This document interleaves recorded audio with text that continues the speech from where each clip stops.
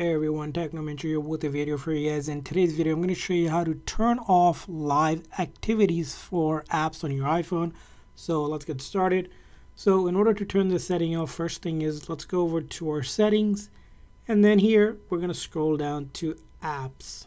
Now, once you go into apps here, we're going to find the app that we want to turn live activities off for. So for example, Facebook has live activities and we don't want to see them so we can simply come over here turn that toggle off and then go back here.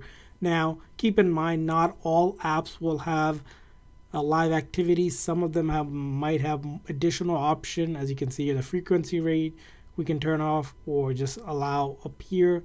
We can turn that off and that as well so that we don't get any live activities from that app. So that's how you can turn off live activities for apps.